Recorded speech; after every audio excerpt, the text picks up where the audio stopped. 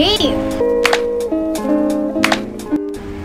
Hi guys! It's your girl A and welcome to my channel. So for today's video is ipapakita ko sa inyo yung aking top favorite lipstick and lip tints. So yan guys, before we get started, so don't forget to subscribe on my YouTube channel and please keep on watching. So okay guys, inipon ko na din to lahat ng mga favorite lipstick ko. So medyo marami sila or I should say na madami talaga sila. Pero mukha lang silang madami guys, pero yung ibang brand is paulit-ulit lang, you know, ganyan. So ayan guys, ayan yung lipstick, lip tint and ayan, let's get started. Itong Itong wow na monomola lip tattoo na peel off ano, peel off siya guys. Tas sobrang favorite ko tong lip tattoo na to kasi kasi it's long lasting at kahit kumain ka na guys, hindi siya natatanggal. Is by the way, it's authentic guys ha kasi merong fake nito. So, ayan, be careful na lang sa mga fake products and yes, ito yung ginagamit ko kapag pag chichibog kami guys, ito yung ginagamit pag lip tint type guys, ito yung long lasting na meron ako na talagang hindi mo mabubura, na hindi mo na kailangan mag-retouch and all.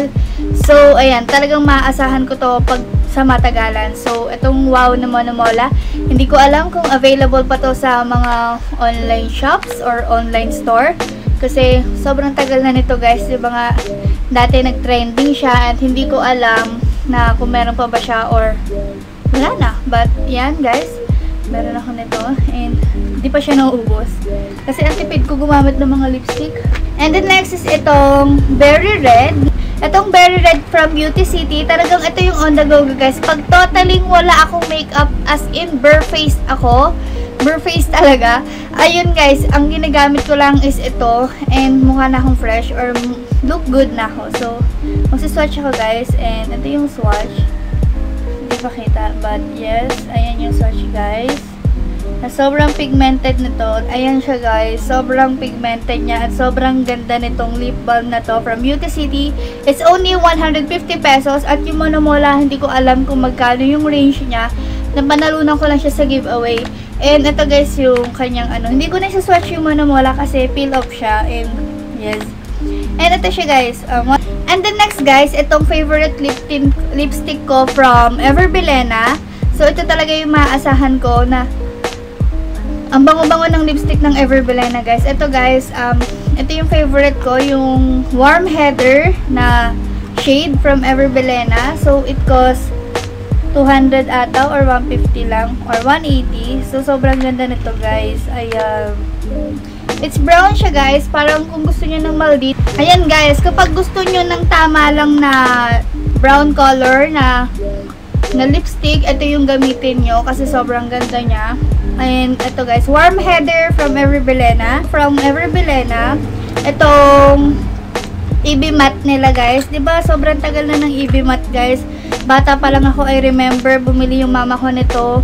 So, element, kinder pa lang ako guys, may Everbelena na. Tapos, ang unang-unang lipstick ni mama noon sa Everbelena is yung color nude talaga, yung as in color balat na labi. Kasi yun talaga yung hilig ni mama dati pa. And bumili siya noon at alam niyo guys, ayun yung one and only lipstick namin kasi hindi kami familiar sa mga makeup and everything. So, ayun talaga one and only lip lipstick namin at talaga naubos namin yun. At ang tagal namin naubos noon. So, 150 lang yun that time. Hanggang ngayon naman eh. And then next is itong Rough Berry na uh, matte lipstick. Ito guys, sobrang ganda nito. Ito yung tipong ano, yung red color na I, I mean maroon color na talagang masusuot mo siya. Kahit wala kang ano. Ayan guys, yung mga dark lipstick guys, ang purpose ko sa kanila, kaya ako kumukuha nun. Kapag wala talaga akong makeup guys. Kasi Ayan. Ito next is, ayan, yung Vogue Diva. Vogue Diva, guys. At ito siya. Sobrang ganda, ba diba? At meron pala akong mga product ng Beauty City, guys. Ito. Ito talaga, guys. To be honest, hindi porket kami or ako yung nag-handle nitong Beauty City lip balm. To be honest, nagustuhan ko siya, guys. Gagamitin ko siya talaga for everyday. Nagustuhan siya ng best friend ko. Yung dalawang best friend ko, nagustuhan siya. And, ang pinaka gusto nila talaga yung Sweet Kiss na shade. So, ito, meron ako. Oh my God, umuulan. Sorry kung maririnig nyo ah. So, medyo makulimlim na. So, okay, ang, ito yung Sweet Kiss, guys, na talagang bestseller sa amin. Na talagang Wow. Ayan. And this is swatch ko siya here. Guys, ito yung Sweet Kiss. Hindi ko alam kung nabibigyan ng justice ng camera, pero masasabi kong iba talaga sa camera yung color ng sinuswatch ko today. Pero ang ganda-ganda na itong, ito siya, para siyang old rose na mauve. Ganun yung color niya. And the next is itong Nude Bear na favorite ko din. 100 times ko na ata itong na-swatch. Dahil na-enjoy ko talaga guys yung pigmentation niya yung creaminess niya at yung stain na naiiwan sa kanya kapag kakain ka or kapag umiinom ka lang ng water. Ganyan talagang maasahan mo siya guys. And the next is itong Luscious Lips. Ito yung ginagamit ko naman for my blush talaga. At for my lips. Ito yung peach. Ayan. Sobrang perfect niya. And the next guys, itong one and only lip balm na gustong gusto ko. Lip moisturizer from um, from Clinique. Talagang guys, Bago lang to sa akin at tignan nyo naman yung naubos ko. Naubos ko na to agad. Ito guys, sinasama ko to sa skincare ko. Kasi ang bongga niya talaga. Talagang na natatanggal niya yung dryness ng aking lips. So, sobrang perfect na to guys. At hindi ko alam kung magkano siya. Pero black honey yung shade niya. At perfect. Hindi talaga literal black pero red siya. Ganun. Pero moisturizer lipstick. Etong nude ko na lipstick from um, Mary Kay. Talagang gustong gusto ko to guys. Sa tutorial ko, ito yung, nung nagsimula ako sa YouTube guys, kasi puro makeup ako noon. Ito yung palagi kong ginagamit at nasapawa na siya dahil sa dami ng lipstick na dumating sa akin. At ayan siya guys, ano siya, brown lang siya. At ang shade nito is Truffle Rich. And yan, kulay ano lang siya. Ayan, ganyan lang yung color niya. At gustong gusto ko yung packaging ng Mary Kay. Ang mahal ng lipstick nila. Promise. Ayan. Ito naman guys, sa Soul Skin, yung lip tint na to. Actually, isa lang yung lip tint pala na yung pinakita ko, no? Ito yung Soul Skin guys. Anim to. Meron ako swatch, swatch, meron ako swatches nito. If you want to watch, check nyo lang sa description box below. So, yan yung lip tint guys na palagi kong sinusuot. At ito yung pomegranate or pomegranate. Hindi ko kasi alam yung pronunciation nitong shade na to. Ayan. Pero ang nasa akin ngayon is pumpkin. Kapag gusto ko ng gloss look or glossy na lipstick, pinapatungan ko nitong Victoria's Secret ko na flavored gloss na lipstick. Ganyan. So, ayan siya.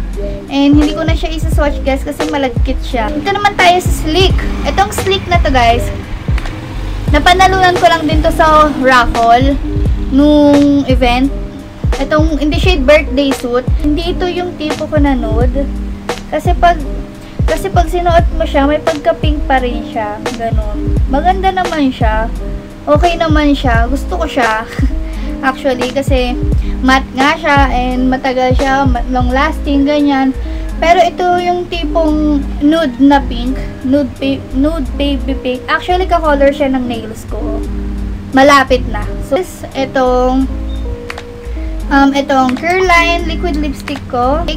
As you can see, parang magkapareho lang sila. In person, talagang parang parehong-pareho sila. Hindi sila nagkakalayo ng color.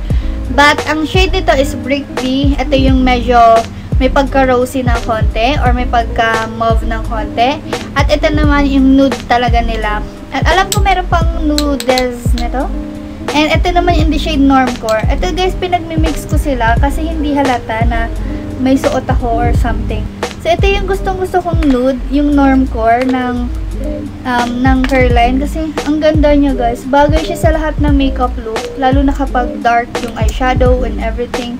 And, ayan. Ito naman yung may pagka darkest ng konti. Yung downside lang nito, hindi siya long lasting kapag umiinom ako or kapag kumakain. Hindi naman yung pag Kapag kumakain ako guys, um, natatanggal siya agad. Uh, pag nai-retouch ko naman siya is nagkakaroon siya ng patchiness. Pero gustong gusto ko siya kapag nag-exfoliate ako ng lips. Tapos ito yung nilagay ko.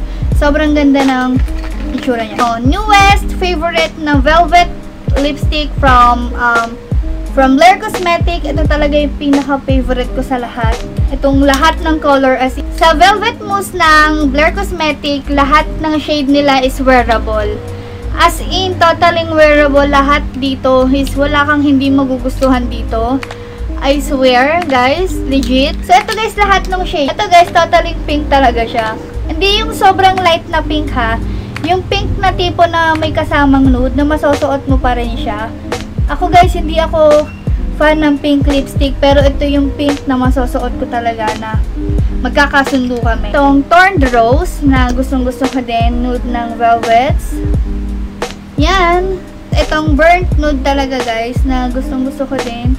As in, promise, wala akong hindi nagustuhan dito sa ano.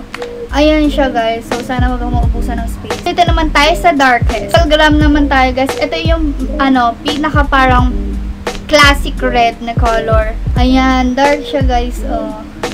At sobrang perfect na to. Ang lakas makamayaman ng itsura. Ito naman guys, yung coral na color niya. May pagka-orange or may pagka-dark. Ganun. Orange, dark, ganun. And masasuot ko din siya. Kahit morena guys. Kahit morena ka.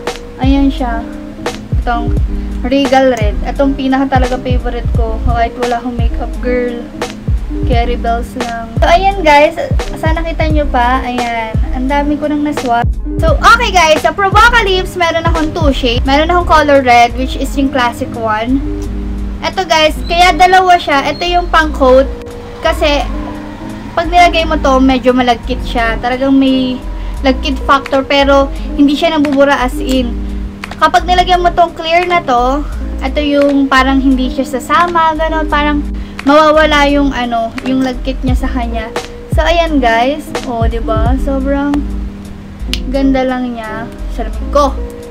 And the next is, ito yung nude na gusto ko guys. Ang tagal na nito sa amin, pero still, yan. Try nyo yung Purboca Lips guys. Ito talaga yung pinaka first time ko na na-try na 16 hour na ano. Actually, hindi lang siya 16 hour kasi nag-try ako noon na 24 hours ako naka-lipstick at ito yung gamit ko. Guys, not bad. Kasi meron siyang coat which is nagpapa long last talaga sa kanya and sobrang good niya. And ayun, so that's it guys for my favorite lipstick. I hope you guys enjoy this video and see you guys on my